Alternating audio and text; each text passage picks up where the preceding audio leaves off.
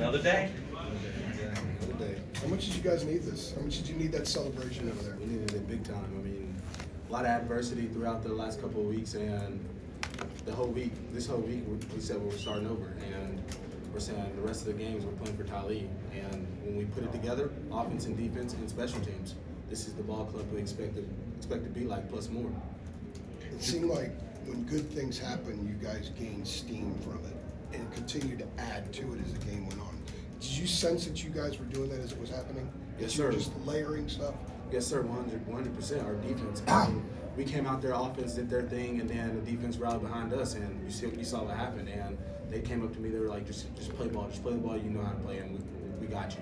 And so that was in my mindset, like that was in the back of my head. And plus, I wore a wristband with cross on my uh, wrist, and then 13, and I'd look down anytime I got hit. I'd look down, and I'd be like, "I'm getting back up for you," and that's just something. Just means Tylee means a lot for this team, and he can do a lot for us as we continue to move forward and we continue to play the ball he would want us to play. You were holding your ribs one of those times for a little bit. Was that one of those moments where if you're holding your ribs a little bit, you're like, 100 percent. And everyone has their own battles, and mine just happens to be my ribs, and I'm just going to continue to fight through that. And my line did a wonderful job, zero sacks for today, and I just told them we play like this, who can stop us? It seemed like the completion to JJ at the end of the half was just a big one for you guys. Then go into halftime twenty-four six. Yes, sir. That was a big one. I last couple weeks I missed a couple deep balls that I wish I could have back, and I told JJ as we're moving forward, I was like, I'm giving you a chance. It was like just, just throw it up, I'm gonna go get it. And I've been with him since he first stepped into college. We've had this connection, and it just displayed today. Put it all on display today. What in the world got into him on the run after the catch? He looked like Ja'Marr Chase. I mean, that's I haven't seen that sort of burst and slick, you know, moves from JJ ever. Maybe like I mean, honestly, I'm out there, I throw him the ball, and I get turned around, and all of a sudden I hear our, our fans screaming. I'm like, oh, he's going, he's going. And so I wouldn't say it surprised us. JJ's he's an excellent player. He's a motor guy, and when he had his chance, he took it to the house.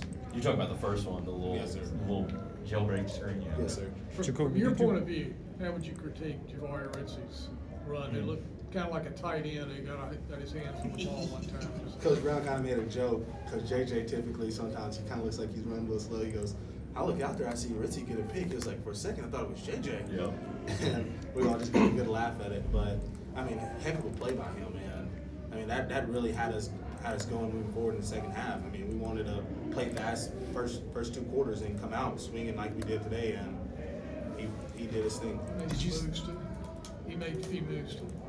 Uh, uh, He, he, he did well with his moves. We can teach Did you see his more. stiff arm? Calandria came over and he, I think he switched hands, don't shifted the ball. He didn't quite get him, but he was ready to get a little He. He, he was hiding him for. Yeah. Hiding Showed some ball skills. Yes, sir. Jacolby, did you feel the offense was maybe starting to figure itself out the last few games? I know they didn't materialize in wins, but did you feel that it was like on the cusp of, you know, potentially doing something similar to what you guys did today? Yes, sir, 100%. And as a player, when things aren't going good, I point I point fingers at myself. And the last few weeks, when I don't create a turnover, we do pretty well. And for me, it's making sure the ball, making sure we're moving the chains each possession that we get. And that's just something we really did from an offensive standpoint today.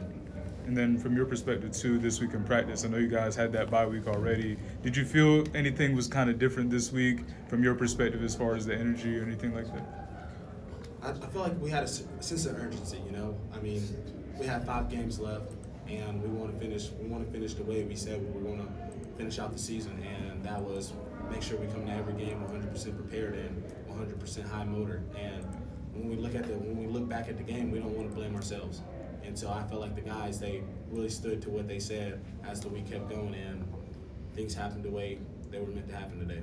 Looks Jacolby, like I, I know you don't play defense, but just the effect of a fully healthy Kaimon Rucker for your guys as a team and a defense. I mean, what does he mean when he is turning it loose like he was today, just for the overall group out there for those guys? Yes, sir. You have a voice out there whenever he's 100% healthy and out there playing.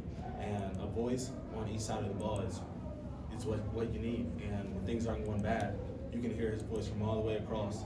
And that's just the type of guy he is. That's the type of player that we need for our football team. And when he's healthy, you get you get a little bit of it all. You get a guy that's going to perform out there on the field, and then on the sideline, you're going to you mess up, he's, he's going to say something, that's just what we needed today, and he did, he did exactly that. So you're saying, yeah, if you've got the iPad or whatever over there in between series, you can you can even be looking down and hear, you know whose voice it is. One hundred percent. one hundred percent. It looks like you're getting more comfortable rolling and throwing.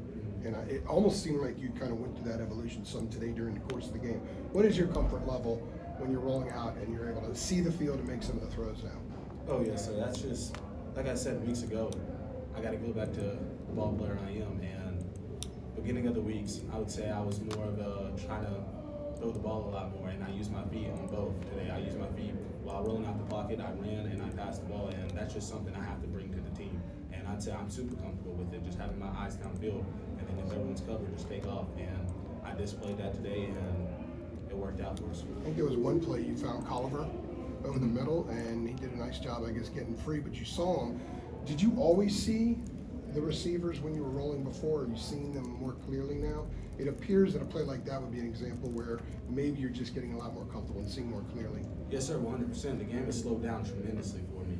And today, actually, when I threw him the ball, I had my eyes looking right at Kobe Paysour, I believe who it was, because they had a nickel defender, and so I had to use my eyes so he can jump out there and create a lane for Chris Culver. And I feel like the game's slowing down and everything's just coming back to me the way, it, way I once played.